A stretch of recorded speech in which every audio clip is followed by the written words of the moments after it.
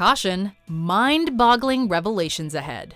Welcome to WatchMojo.com, and today we're counting down our picks for the top 10 iconic TV roles that were almost played by other actors. Everything that I do, everything, I do it to protect this family. And if you're curious to see which actors had the gall to walk away from shows like Game of Thrones, why not check out WatchMojo UK's list of the top 10 actors who turned down Game of Thrones? For this list, we're looking at well known small screen roles that could have ended up being very different had they gone to other actors. But that's their solution. Why not open the hood and poke around? We're excluding people who still ended up with a main role on the show, like Courteney Cox, who read for the part of Rachel on Friends before being cast as Monica. Oh God, Monica, hi! Thank God! Number 10, Hank Azaria as Joey Tribbiani, Friends. Yeah, like you could find something as sophisticated as this. it's a little hard to imagine anyone other than Matt LeBlanc playing Joey, the show's lovable goofball with a penchant for women and sandwiches.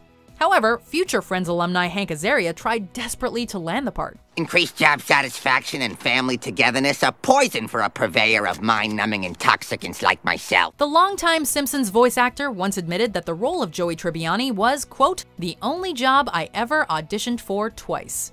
In regard to LeBlanc's season 1 performance, Azaria went on to say, quote, I could have been funnier than him. Azaria eventually changed his opinion, thank God, and went on to appear in five episodes of the iconic sitcom as David, a physicist that Phoebe falls for. Um, were you planning on kissing me ever? uh, that's definitely a, a, valid question. And uh, the answer would be yes. Number nine, Katherine Heigl as Jen Lindley, Dawson's Creek. Here goes. Um, I'm pregnant. Katherine Heigl, known for her work in the stoner comedy Knocked Up, as well as for her time on Grey's Anatomy, nearly landed a role on another super successful TV show years earlier. The role in question was that of Jen Lindley on Dawson's Creek, one that ultimately went to future Academy Award nominee Michelle Williams. Hey guys, Jen. According to the show's creator Kevin Williamson, he was very impressed with Heigl, saying, quote, she gave a great audition. I remember we were all sort of like, wow, she's good. Despite this glowing review, he decided to go with Williams, and the rest is history. So come on, live it up. Go out, have a good time, meet some new people. Number 8. Thomas Jane as Don Draper, Mad Men. I'm living like there's no tomorrow. Because there isn't one. Mad Men would not be Mad Men without Jon Hamm. Plain and simple. His nuanced performance as 60s ad exec Don Draper won him two Golden Globes and cemented his legacy as one of the small screen's all time greats and yet the role was almost played by Thomas Jane. The Punisher star actually turned down the role, which begs the question what was he thinking? This was not the only time Jane brushed shoulders with an iconic role only to keep on walking, as he was Frank Darabont's first choice to play Rick Grimes on The Walking Dead. But when HBO passed on the show, Jane went elsewhere. It's open! We gotta do this now! Number 7. Connie Britton as Olivia Pope, Scandal. This is where it's all gonna happen. It's all gonna happen right here. Connie Britton, best known for playing Tami Taylor on Friday Night Lights, has appeared in dozens of films and TV shows over the years, and she came pretty close to adding Scandal to that list back in 2012. She was one of ABC's first choices for the role of Olivia Pope, which was an issue for creator Shonda Rhimes, who'd written the part with a black woman in mind. The network ultimately relented, and Kerry Washington was cast as Pope, making her the first black woman to land a leading role in a television drama in over 30 years. Excuse me? Number 6. Katie Holmes as Buffy Summers, Buffy the Vampire Slayer. That was just another day on the job. Care to step up for some overtime? Buffy the Vampire Slayer could have looked a whole lot different had a couple of well known actors said yes instead of no. Katie Holmes was offered the role of Buffy Summers, and Ryan Reynolds was approached to play her friend Xander. Both actors wound up passing, opening the door for Sarah Michelle Gellar and Nicholas Brendon, respectively. Seeing as how Holmes and Reynolds both went on to have successful careers in the entertainment industry, we doubt they regret their decision. As for Gellar and Brendon, well, one could argue that Buffy and Xander remain their best known roles. Boy, you really thought this through.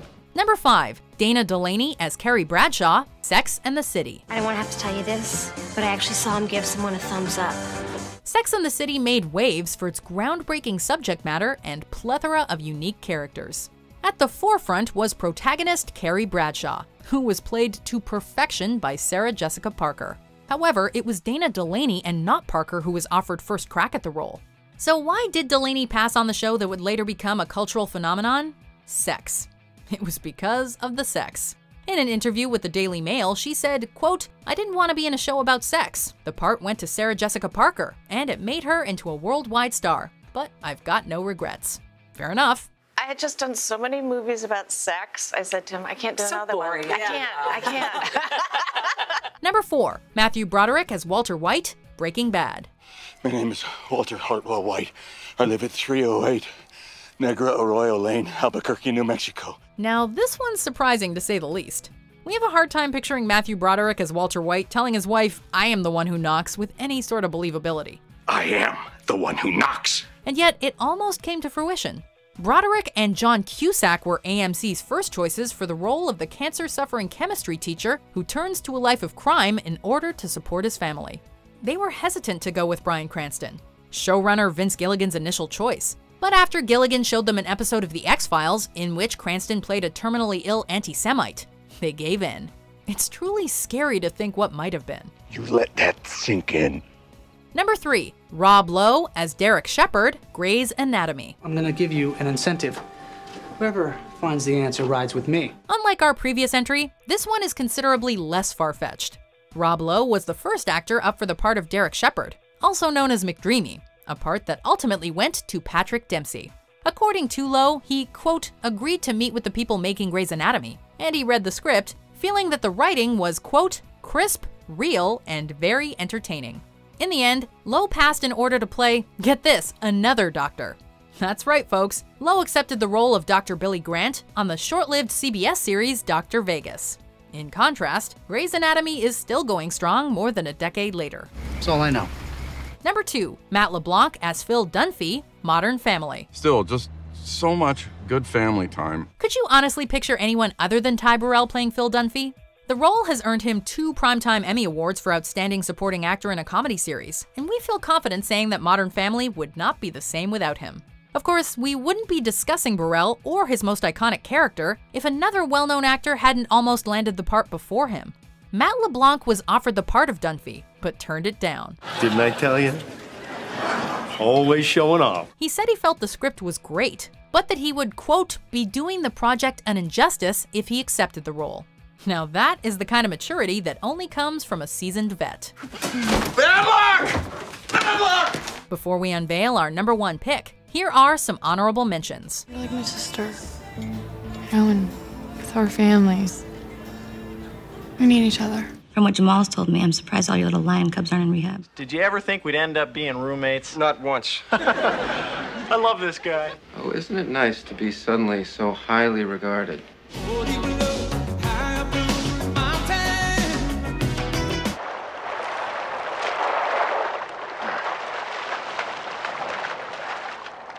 Number one, Chris Rock as George Costanza, Seinfeld. Told me to go to hell, and I took the bus home.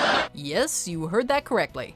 Actor and comedian Chris Rock was offered the role of George Costanza, Jerry's neurotic, socially awkward best friend, but ultimately turned it down. I'm out, baby! I'm out!